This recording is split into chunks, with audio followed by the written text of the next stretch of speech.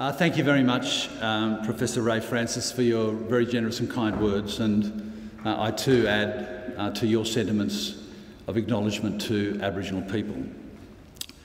Uh, whilst this is a formal occasion, it's an intimate setting, and so I think a few comments from me will probably suffice. But I do want to firstly recognise the standing that attaches to an honorary degree for universities uh, and place on record my sincere thanks to the ANU and its University Council for bestowing on me what I appreciate is a very real honour in the truest sense of the word, and for taking the time uh, to come out today uh, for this ceremony. Uh, I want to pay tribute to my wife Doris, who's here today. I think because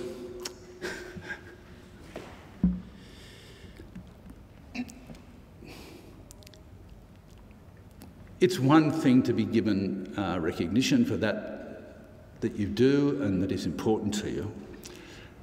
But I think it's always the case that the person who provides the opportunity for you to do that is not acknowledged.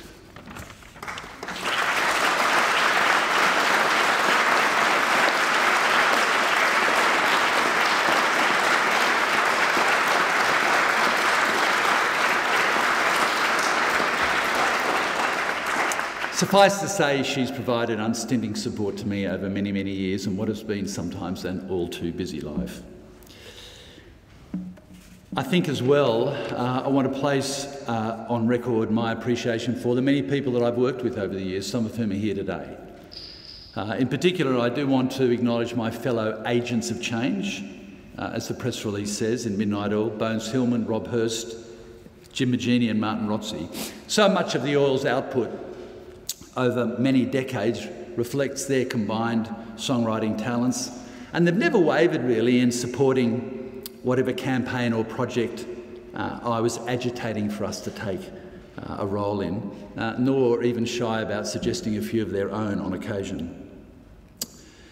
The fact is that when you receive an award of this magnitude, you do ask yourself the question do I really deserve it? Um, it's wonderful to hear the things that uh, have been said about you, but none of it is ever done um, by yourself. Uh, in my case, obviously, emotional moment to recognise Doris's role in our marriage of many years. Impossible without that. But also in each and, and every setting, impossible without the people that you do work with. And I've often said, and I know it comes as a surprise to people, but I've never been a believer in this sort of Western mythology of the hero. You know, I don't really don't think. I mean, I think it was mythology, to be honest. Um, most of us get good stuff done working with other people, and I'm certainly no exception to that. I should say that I was far from an assiduous student, uh, in particular when it came to legal studies. In fact, when I first came here, we were swept up in um, sort of the backwash of the 60s, rolled into ANU in the 70s. And it was a heady time. It was the time of the counterculture.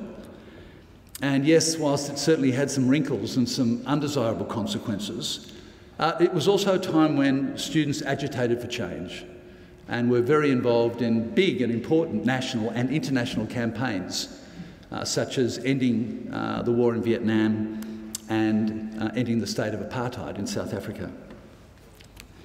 And I think that time, more than anything else, led me to believe that anything was possible if you got involved. That it wasn't simply enough to think about it or talk about it, you actually had to go out uh, and join in with others and do something about it as well.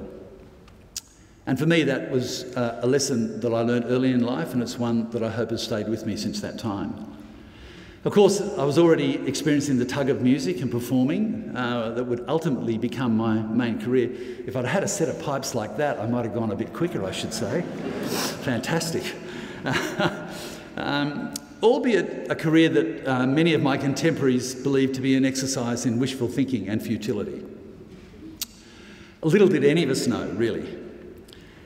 Uh, notwithstanding all of that, again, notwithstanding uh, my disinterest, the thing that I reflected on and I want to acknowledge, particularly to teaching staff, including senior professorial teaching staff here, is that my lecturers' persistent efforts despite my absences and negligent approach to study, were sufficient to ensure the imprint of some knowledge of a specialised kind which never faded away. And indeed, those lessons uh, initially saved uh, my colleagues in Midnight Oil our livelihood. Um, in a business where managers and promoters did wear what looked like sharkskin shoes, and they certainly acted the part. During my term at the ACF, when legal issues were always bubbling, and we were always considering at the time uh, how best to either encourage or prevent governments from doing things which we didn't think were in the interests of the environment. And then once in government, uh, and especially in relation to approvals under the Environment Protection, Biodiversity and Conservation Act, uh, as it turned out, uh, I was a highly activist minister. And all of those decisions taken under that Act, and many of them challenged, and all of them, bar one small one, taken by an Australian public service bureaucrat still standing. And then, of course, as was mentioned uh, in the citation, instituting with Foreign Minister Stephen Smith Australia's International Court of Justice action against Japan uh, around scientific whaling. So that learning that I first acquired here and later at the University of New South Wales when I completed my legal studies was in fact invaluable to me, uh, especially at a time when um, contemplating the International Court of Justice action it was very clear that the Attorney General's Department here, senior and eminent uh, legal advisors, and the Department of Foreign Affairs as well, were not only opposed, but additionally didn't think that the prospects of victory were anything like certain. On the question of genuine reconciliation with Aboriginal and Torres Strait Islanders, yes, it has been an important issue for me, as I know it is for uh, all of us in our current generations. And the law recently, I think, has played at least a generally constructive role. Unfortunately, it's really base politics which is holding us back at this point.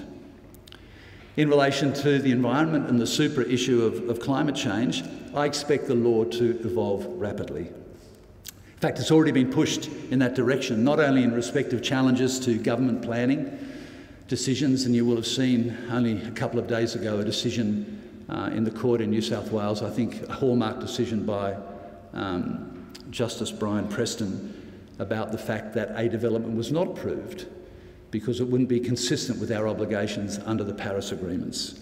But I think it will extend as well in areas of negligence and liability. And in fact, I go further and say that eventually we will have national and international tribunals constituted, not dissimilar to the International Criminal Court. Uh, and there'll be no prizes for guessing who we want to put in the docks. The Chancellor and others here may have a view about uh, the possibility of standing, but my own strong feeling, and it was my reason for entering Parliament in the first place, is that the civilian population will no longer countenance the negligence of politicians and powerful interest groups who refuse to take this issue seriously. When I came into the Parliament, I felt that climate change was an existential threat to this country uh, and to the greater world community, and that we needed decisive action. Not only to reduce greenhouse pollution, because some of it, as you will very well know, is already in the system, but also to start climate proofing our physical and our industrial and social infrastructure wherever we could. And the great tragedy that we're faced with, friends and colleagues, is that since that time, our capacity to do that job has diminished, but the threat has greatly increased. Uh, but my conviction remains that we must act, and I think lawyers and lawmakers and policymakers not only need to respond to the reality of a warming world veering off course, but they better get ready for their day in court. Finally, quickly, universities like this one um, provide and have a very critical role. They provide the inputs in, in educating young minds. They're expanding and developing and, and deepening uh, curricula. They're extending research. And, and particularly here in, in Canberra, but uh, in our other cities and, and, regions as well, they occupy a very central place in the local architecture uh, of community. And there's a history over many, many, many years, maybe not quite as long as the doffing history, but certainly a history of the, of the role that universities' students um, and academics and teachers can and sometimes do play when nations or communities have got to navigate times of crisis, difficult political and social uh, moments. And I think that ANU can and should play that role. I'm aware of the outstanding scholarship and advocacy of a number of ANU personnel on this issue. Uh, I'm aware of the goals that the university has set itself around sustainability and the like, and I applaud those efforts. But I would say that we need boldness and we need to move quickly, uh, lest the hell of this past summer become the new normal in a future where both horizontal and vertical impacts are going to cascade across our natural landscapes and into the lives of billions of people. Uh, for me, that's an important thing to have said to you here today because I know that uh, this is a room with people who have the ability uh, to make a difference and to influence things. This morning, as, uh, as Ray was saying, we um, particip- oh, I participated in the launch of the Kambri precinct. A fantastic what the, what the uni has done there. I talked a little bit about the creative endeavour, and I guess I want to close with just a personal reflection about uh, the way that my mind tries to deal with the things in front of me, because I am a creative person at heart. Uh, I love the business of performing. And uh, when the Chancellor turned around and said, Did I, you know, come and sort of joked at me to come up and, and join, you didn't realise how close I was, Gareth, to coming across and, and taking up the choruses. and uh, it's, it's always been a bit of a wrestle for me between uh, the left hand and the right hand side of the brain, you know, between the, the analytical, legal process side and, uh, and the creative, wild, you know, slightly sort of, you know, ragged side. Uh, sometimes they complement one another. Uh, sometimes uh, they contest the space. And it's been underway in my head for as long as I can remember, and it shows no signs of um, settling down. So I have to get used to it. But whichever is prevailing at the time, one of the things I, I have always tried to see is where the possibilities for action to make change lie. It's not enough to be able to make the declaratory statement about the need for change. Um, we, ha we have an expression in, in, our family that that's a, a SOTBO, a statement of the bleeding obvious. You know, you, you, it's the next step. Where do the possibilities for action to make the change lie? And then, when that's identified, what can you do in concert with others um, to make that change happen? That's the goal uh, or the task uh, to try and do your bit uh, with the tools that you have at hand to shape the world for the better understanding that no matter what the circumstances or how dire uh, things might seem or difficult, every single little bit actually helps. Uh, there are people in this room who've done that, I know, and, and there are many others uh, outside this room, right around the country and around our planet, likewise, who toil and who go unrecognised. And I'm more than aware that a publicly visible life is no more or less significant than any other life. Uh, and so, consequently, I'm acutely mindful that there's much more for me to do as well. So, the honour that has been bestowed on me today, um, I truly do appreciate, and I'm grateful for it. Uh, but hopefully, it's going to strengthen my resolve and increase my determination to continue on with the task uh, that I set for myself with the many others that I've worked with in the past. Thank you very much.